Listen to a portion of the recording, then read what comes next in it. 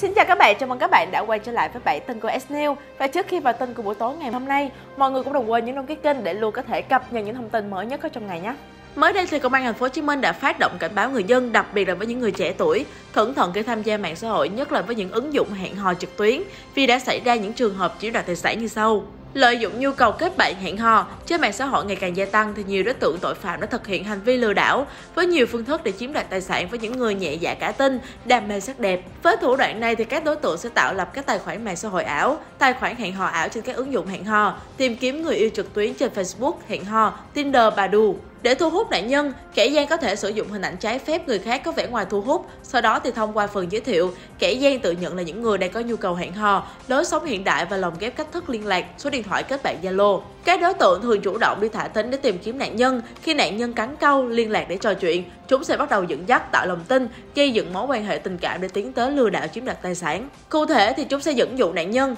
chuyển tiền để tham gia các dự án đầu tư tài chính ảo, mua hàng đa cấp, vay mượn tiền rồi chiếm đoạt tài sản. Ngoài ra thì chúng sẽ dẫn dụ nạn nhân tham gia các cuộc gọi video call nhạy cảm, đôi trụy với các clip phát lại để thu thập hình ảnh nhạy cảm. Sau đó thì nạn nhân sẽ bị gây áp lực công bố các nội dung đó công khai lên mạng xã hội, gửi cho các người thân bạn bè để buộc phải chuyển tiền để đổi lấy sự im lặng. Công an thành phố Hồ Chí Minh khuyến cáo mọi người tuyệt đối không nhẹ dạ cả tin theo yêu cầu chuyển tiền của các đối tượng trên, đề cao cảnh giác khi tham gia các ứng dụng hẹn hò trực tuyến. Cùng với đó thì không tham gia các hoạt động mang tính chất đồi trụy trên không gian mạng để tránh bị sập bẫy. Và chúng mình là S News, mọi người đừng quên like, share và cái kênh để cập nhật tin tức mới có trong ngày. Xin chào và hẹn gặp lại.